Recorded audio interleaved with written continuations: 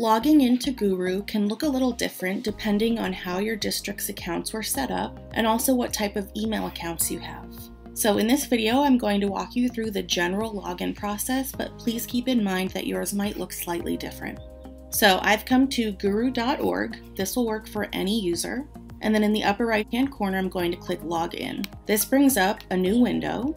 To start, you're going to enter your email address. This is most likely your school email address, the one with which your account on Gooru was created. Then click the green submit button. If you're asked to pick an account, if you have more than one, select the appropriate one. It will probably be your school's name. And then you'll be brought to a screen that looks like this. So here's the part that can sometimes be tricky. If you set up your own account without any of your district's help, and you created a password for Gooru at the time of that creation, type the password in here. However, if your district created your account for you, or if you created your account through Google, click the blue Sign In with Google button.